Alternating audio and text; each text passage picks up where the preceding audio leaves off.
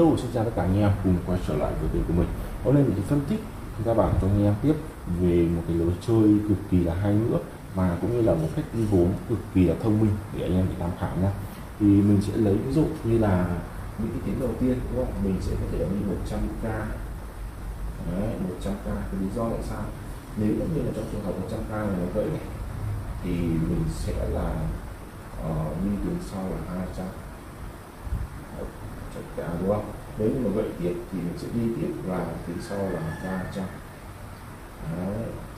nếu như mà kiểu này mà vẫy đen ba cây gập thông ấy, thì mình xử lý như thế nào?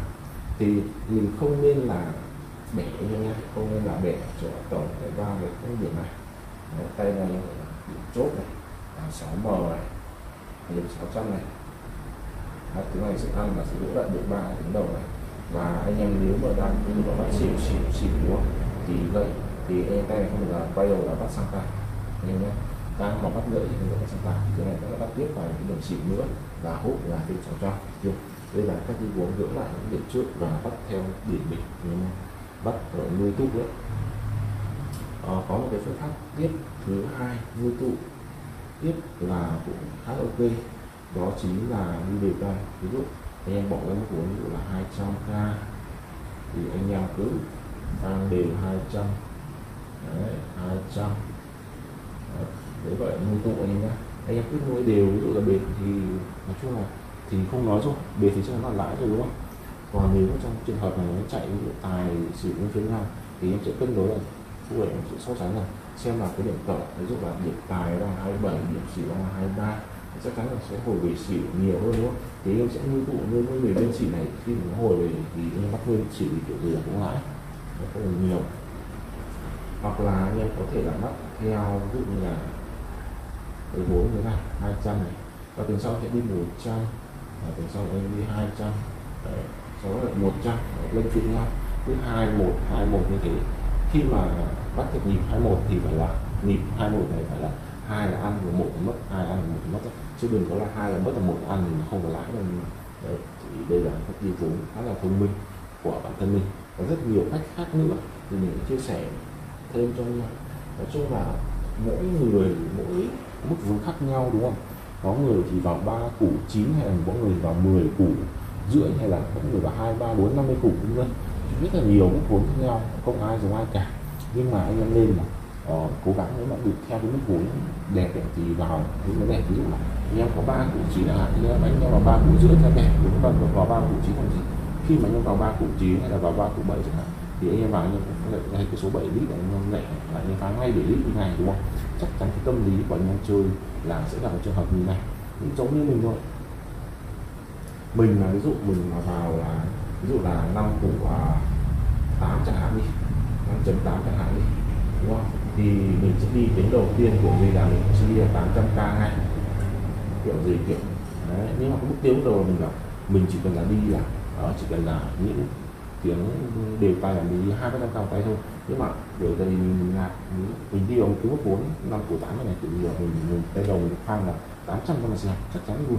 Đấy, nếu mà tiếng này ăn thì lại không sao, đúng không?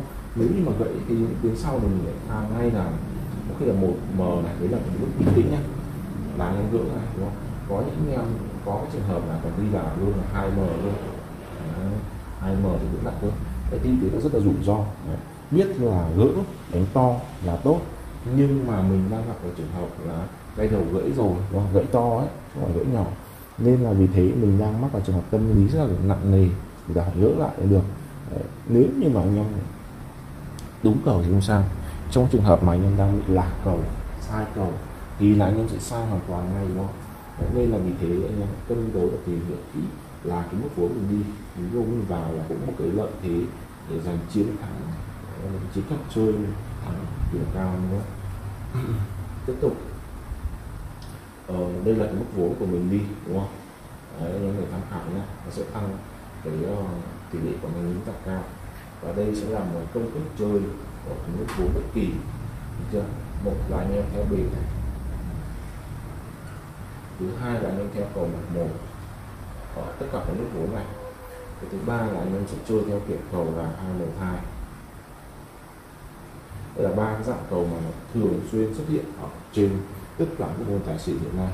Mình thấy là ra rất là nhiều, đúng không? Rất là nhiều. Và vì thế nó có thể là tính toán và cũng như là có thể là ngồi đợi. Có thể là ngồi dinh ngồi đợi khi nào cầu uh, nó dài thì mình sẽ vào bù thì sẽ rất là ok được chưa còn trong tất cả các loại cầu này nếu như mà anh em chơi mà mà, mà, mà gặp phải cái trường hợp mà, mà chưa đến ấy, là không? thì anh em có thể là theo theo đến cái cầu mà em đang nhìn thấy đang gặp phải như thế theo nó gãy đó theo nó hết đi hoặc anh em ăn tạm bắt tạm cái cầu đi cũng được đúng không? còn anh em nào mà có cái cái thời gian đợi được thì em sẽ đợi cái cầu này. Đó. đợi cái cầu mình chỉ đây em sẽ áp dụng vào trên uh, cái công thức đi bố này. Và cách đi bố này thì sẽ rất là hiệu quả. Mình áp dụng cái, cái, cái cách đi vốn ở những cầu này ờ, uh, hút từ ờ, uh, 95 đến là 98 phần trăm. Em nhá còn hai phần trăm còn lại chỉ là là cái sai suất của mình bản thân mình xảy ra là mình đen thôi. Đấy, đúng không? Đen lắm thì mới sai được thôi chứ còn không thì kiểu gì là kiểu là một cách nói gọi là gọi là nhân hóa lên là đúng hoàn toàn nhưng mà đúng hoàn toàn luôn. Nên là vì thế nhiều anh em cứ bảo mình là ờ, người nhà cái này cũng không phải nhưng mà mình chơi mình có kinh nghiệm công thức cách đi vốn thì nó sẽ hoàn hảo như vậy đúng không? Chứ em chơi như bắt theo sở thích này đấy anh em bắt theo là may mắn này thì không bao giờ có thể làm cao được may mắn cái sở thích của anh em là gọi là quen tay thôi hay là gặp những cầu quen thôi thì gọi là vào anh em may mắn thì được hút đúng không? Chứ không trả được gì. Đấy thì tỷ thắng giờ thấp. Thì 60 đến ờ, 65 phần trăm không có thể cao được nhé là vì thế anh em cân đối cho mình ở cái mức vốn vào chơi và cũng là một yếu tố quan trọng này. Đấy, mức đi vốn này và lựa chọn mặt cầu này thì nó sẽ cực kỳ hiệu quả nhé ok thì sau đây mình vừa chia sẻ cho anh em một cái công thức chơi cực kỳ là hay các đi vốn cực kỳ là hiệu quả. Để anh em hãy tham khảo và áp dụng ở phía chơi của anh em để mang lại cái tỷ lệ thành công rất là cao từ 95 đến 98 phần trăm. Anh em hãy tham khảo nhé ok thì uh, mình sẽ kết thúc video đây và chúc anh em may mắn. Chào tất cả anh em và người. Ba anh em nhé